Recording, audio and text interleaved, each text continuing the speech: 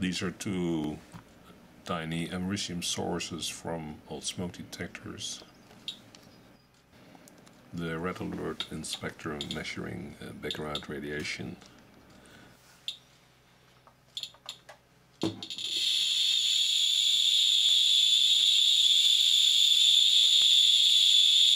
two sources show a high radiation level, which is of course not true. It's due to the fact that the GM counter shows a gamma reading based on the alpha particle count.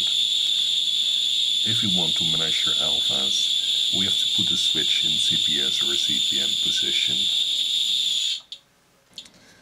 A piece of paper blocks the alphas completely.